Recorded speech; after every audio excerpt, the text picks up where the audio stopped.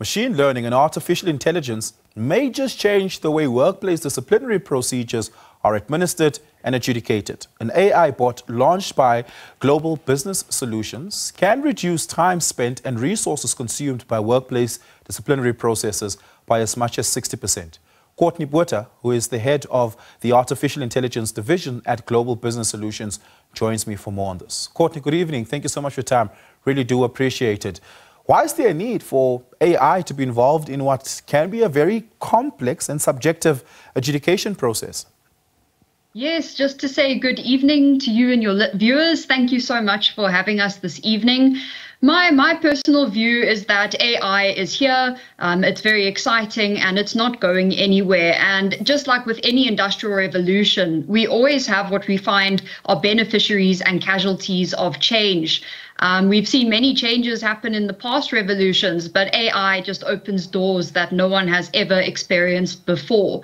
Um, I think it is going to enable businesses to have efficiency and quality of work that they've never seen before. Um, the augmentation and automation of processes that were passed in the previous um, revolutions, very labor intensive, required a lot of time and specialist expertise, are now becoming more available and more accessible and just increasing the opportunities that businesses find for themselves. Um, specifically in the HR and labor law space, we are, as a company, very, very excited to be ahead of the curve in figuring out how we can help other businesses automate and augmentate their processes with the assistance of artificial intelligence. Tell us about the data inputs uh, and the machine processing uh, that your bot would need to be able to have and do to be able to, uh, to be able to adjudicate a disciplinary dispute in the workplace. So we have designed our DE bot to have two main components. The first is that of initiators. So this will enable the initiator to be able to summarize the case, um, perhaps if they've already gathered witness statements, upload those into the bot's knowledge base. Um, it's very conversational in manner. Anybody can use it. It again makes the whole initiating disciplinaries process much easier. Um, it allows the user to upload various company disciplinary codes, um, as well as evidence um, that they've perhaps already gather, gathered from the case.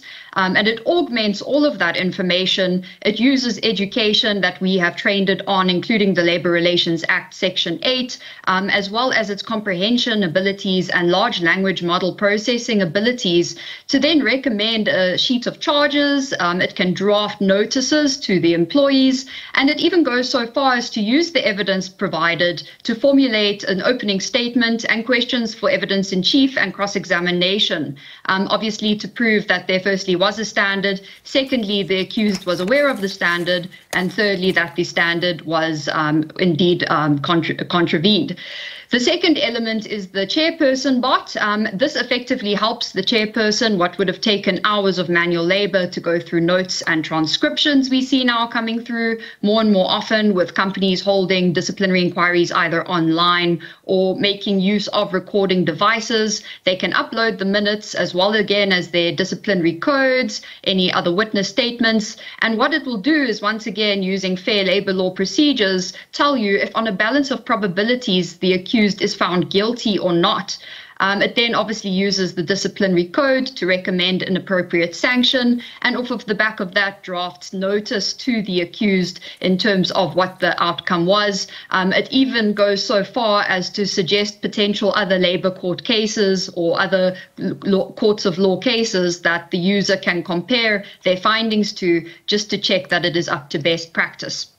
And just maybe a final question to explore here. Uh, oftentimes, workplace uh, disciplinary uh, processes or disputes um, and transgressions that may have taken place have a great deal of subtext, but are also very context dependent, especially where there are no clear or maybe perhaps no consistent uh, uh application of workplace policies uh, as per the code of conduct of any particular workplace may have been. How do you mitigate against subtext and context, which are very important from being excluded from the uh, process, especially when it comes to adjudicating on uh, the outputs of the, uh, the outputs of the bot.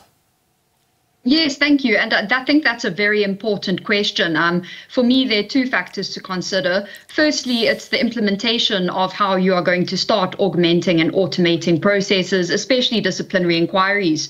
Um, the communication is key. Um, I think change really has to come from the top up, and our organization leadership has been instrumental in ensuring that people understand that AI isn't meant to take people's jobs. Um, it is a AI is an an automation, not an automation, but rather an augmentation of people's skills and technology coming together. Um, and as you very importantly say, what is very very unique about our bot is even though it automates a lot of the steps in the process, it requires a large amount of human use still at the moment. Um, 60% of it is automated, but that 40% is at the moment very very very reliant on specialists to be able to then, as you say, read the data, uh, validate it, and make sure that it has been consistently applied in the organization.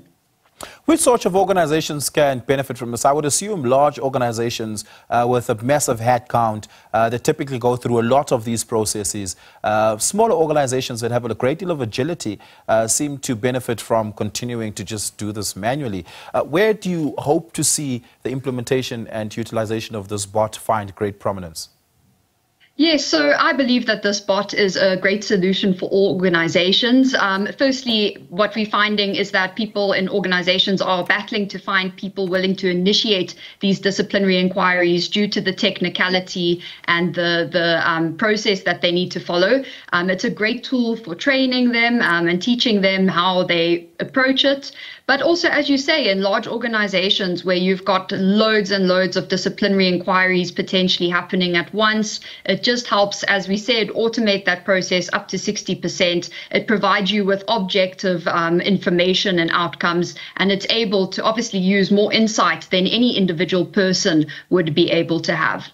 Courtenay, we're going to have to leave it there. Thank you so much for your time. I really do appreciate it. Courtenay Botha's with the Global Business Solutions.